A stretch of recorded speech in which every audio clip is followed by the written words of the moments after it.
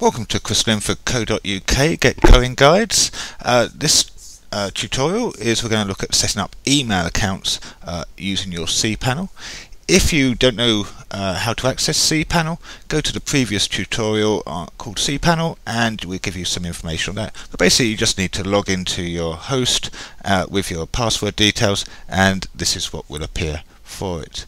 So to make some email accounts, it's all done in this email uh, window here. So we want an email account. So the first thing we obviously want to check is some email accounts. What have we got? And if we this window will appear and it tells you here what emails have already been set up. Well, I've already got one set up for myself, uh, chris at chrislinford.co.uk, which you can email me on.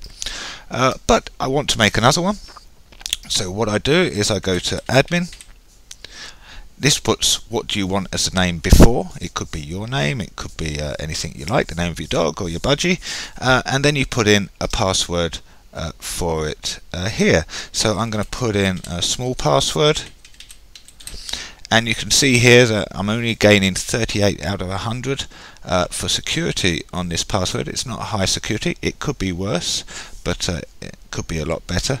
But I'm not going to run a lot of secure information, um, so I'm not that uh, worried about it at the moment.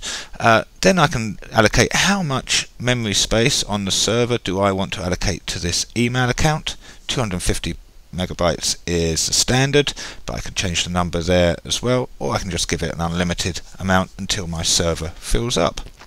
When I'm happy with that, I just click on create account. Then tells me the account has been created, and if I go down to my list, there it is, it's been added here.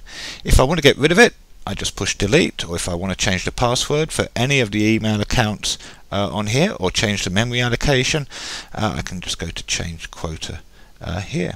And that's your email account uh, set up. So if we go back to the home we've got an email account now but I've got an email account but I don't actually want to go into this server to look at the emails. I want the emails to go to another email account. It might be your Hotmail or Gmail account.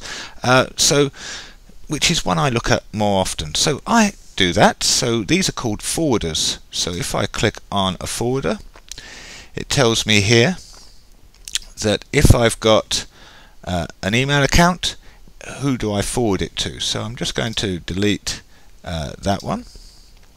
Uh, so I'll go back. So what I want to do now is I want to add a forwarder. So what I do is address to forward, so I address admin, and then I put it uh, to another account. Uh, so I just put at the let's put it at a Hotmail account and I just add forwarder. There we go back. So what is happening now is whenever somebody emails me to this admin at chrislinford.co.uk, it will be sent to chrislinford.hotmail.com. That doesn't actually exist, so I just want to delete that now so I don't end up with some emails going to the wrong place. And it's all fairly straightforward from there. So as you can see, mychrislinford.co.uk it goes to my university address, uh, which is an address I look at during the day, uh, and uh, more likely to get a reply from me at, at that place. So what we want to do now is to log on to your um, email. So how would you do it? So we go to go to your web host so what we'll do here is we'll do that. And then under the username you just write the email address.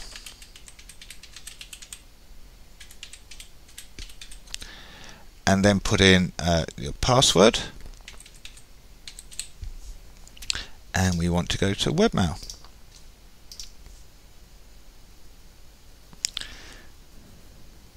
So this is now, I'm not logged in as the main user as Chris chrislinford.co.uk. I'm now logged in so every user can come in with their own identity and not look at each other's emails. Uh, so I'm logged in there. Then I can choose what kind of system I want to um, look at my emails on. So I'm going to look at Squirrel Mail because we might look at Squirrel Mail later on. And this is your email box. So it's very simple. Uh, so you have an inbox, you have a drafts, you've got ones you've sent, you've got trashed ones, and you can just look at it. Obviously, not sent any emails from here uh, yet, but uh, you can just click on here.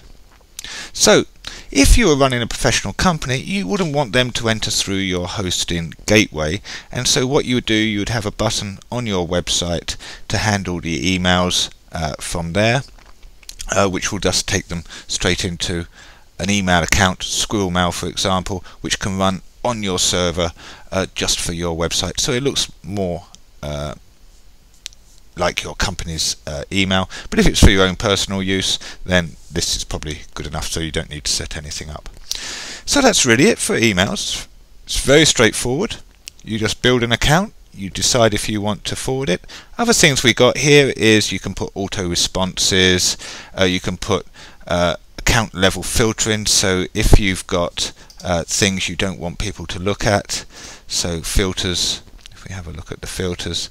So if you've got somebody who's spamming you or something uh, you can so if it's from somebody then you can decide what you want to do with it uh, from there. And you can do that from a, a site, site point of view or from a individual person uh, point of view as well. So it's all pretty much straightforward so that's setting up your email accounts. Good luck with that.